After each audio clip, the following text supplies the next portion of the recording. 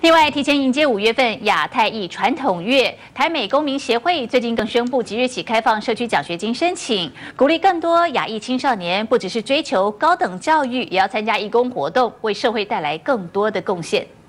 在传统周里面举办这个，是要宣扬台美人传统周里面鼓励义工精神的的那个宗旨。所以在五月，我们也会邀请他们来参加，来参加我们的活动，来认识花文化。他们小小的呃一个举动，一个帮助，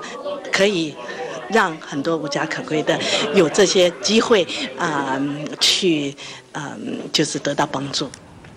陈凤仪表示，台美公民协会将提供五到五十个人名额，每人三百美元的奖金。那么未来希望这些学生有只要到社区服务的经验，而且计划在未来申请两年或四年制大学，就可以在四月二十六号以前到亚裔青少年中心来领取申请表。